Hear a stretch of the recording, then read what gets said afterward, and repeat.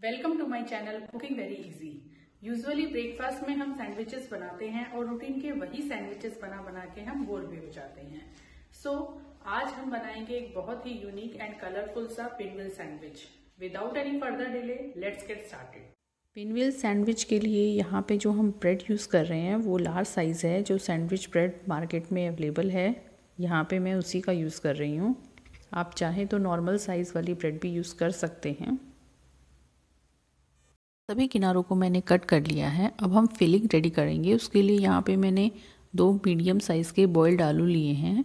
एक मैंने अनियन लिया है, जिसे मैंने फाइनली चॉप किया है।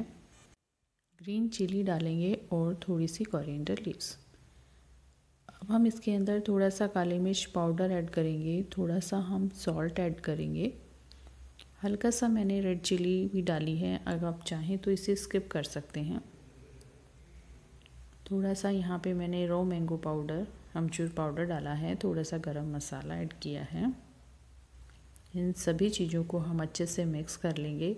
पिनविल सैंडविच की हमारी फिलिंग रेडी है।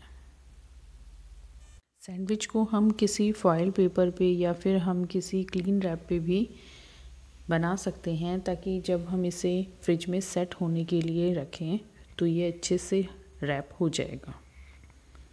ये स्लाइस पे मैंने बटर स्प्रेड किया है। बटर हम रूम टेम्परेचर पे लेंगे ताकि वो अच्छे से इवनली स्प्रेड हो जाए। थोड़ी सी हम एगलेस मेयोनीज़ ऐड करेंगे। अगर आप मेयोनीज़ नहीं खाते हैं तो आप डिफरेंट टाइप के सैंडविच स्प्रेड भी मार्केट में अवेलेबल हैं। आप उनका भी यूज़ कर सकते हैं।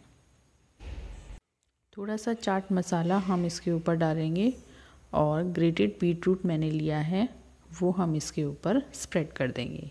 बीट रूट से आपके सैंडविच का कलर बहुत ही अच्छा आएगा।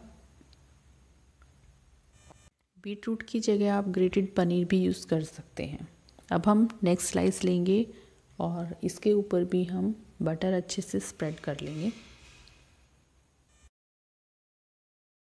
सैंडविच में कोई भी चटनी स्प्रेड करने से पहले आप बटर ज़रूर डालें, इससे ब्रेड सोगी नहीं होगी। ग्रीन चटनी का वीडियो मैंने अपलोड किया हुआ है, आप चाहें तो चैनल पे देख सकते हैं। और अब हम इस पर फिलिंग एक साइड पे प्लेस करेंगे और इसे रैप करेंगे।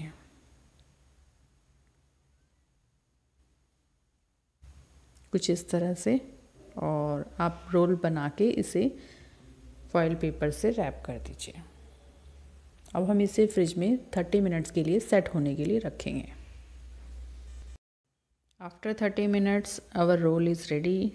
Now we will cut it.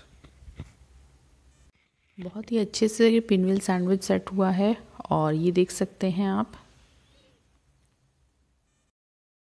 Sandwich को आप दो तरीके से सर्व कर सकते हैं या तो आप इसको इसी फॉर्म में सर्व कर सकते हैं, या फिर हम इसे रोस्ट करके भी सर्व कर सकते हैं रोस्ट करने के लिए हम एक पैन के अंदर थोड़ा सा बटर लेंगे और इसे मेल्ट होने देते हैं थोड़ा सा चिली पाउडर डालेंगे। आप चाहें तो स्किप कर सकते हैं। अब हम इस पर सैंडविच को प्लेस करेंगे। दोनों तरफ़ से हम इसको रोस्ट करेंगे। ये देखिए, बहुत ही बढ़िया से सैंडविच रोस्ट हुआ है। If you like my video let me know in the comment section and also subscribe my channel thanks for watching